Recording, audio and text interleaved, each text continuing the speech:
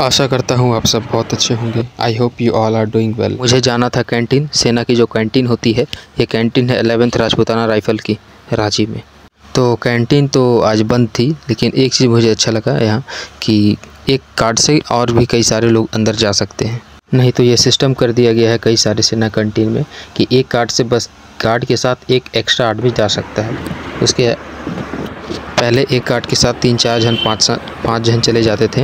वो सिस्टम बीच में बंद कर दिया गया और लेकिन इस रेजिमेंट में मुझे अच्छा लगा कि एक कार्ड में आपको आ, दो से ज़्यादा लोग को एंट्री मिल जाएगी। खैर देखिए क्या वार्तालाप हुई मेरे और जवान गंगा सिंह के बीच। कल खुलेगी?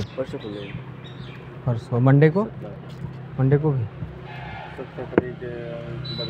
तक बंद बता रहे हैं मतलब कल तक बंद है नहीं मंडे को? मंडे को खुल जाएगा। अच्छा। कितने लोग अंदर जा सकते हैं? कितनी है वो? हाँ वो मतलब एयरफोर्स में है। अभी वो घर पे आया हुआ है।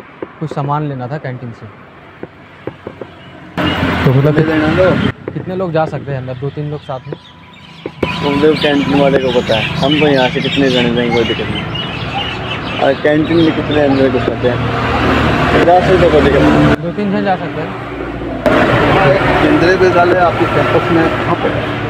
किस केंद्रीय विद्यालय। नहीं है आपके मेरे को पता ही नहीं मेरे को। वो भी कोई ब्रिगेड में हो तो पता नहीं। आगे तो पता लग जाएगा। आगे हाँ सी एम पी गेट में पता लगेगा पता लग जाएगा। तो पता होता है अच्छा, ये मतलब क्या है सर?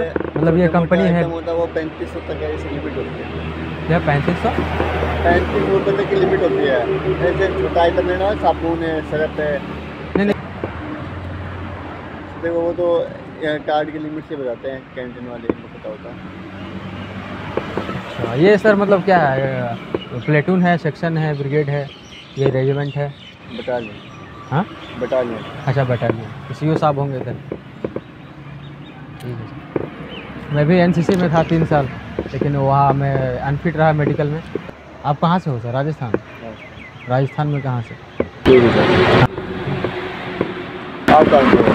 मैं यही का हूँ लेकिन आई होप आपको वीडियो अच्छा लगा होगा। मुझे कैंटीन जाना था दोस्तों कैंटीन कैंटीन जाना था दोस्तों कैंटीन जाके जो सामान मैं खरीदता, उस सामान का मार्केट रेट क्या है, वो मैं आपको कंपेयर करके बताता। लेकिन अगले वीडियो में, मैं आपको ये ज़रूर बताऊँगा, आपसे वादा करता हूँ। तब तक के लिए थैंक यू मिलते हैं अगले नेक्स्ट वीडियो में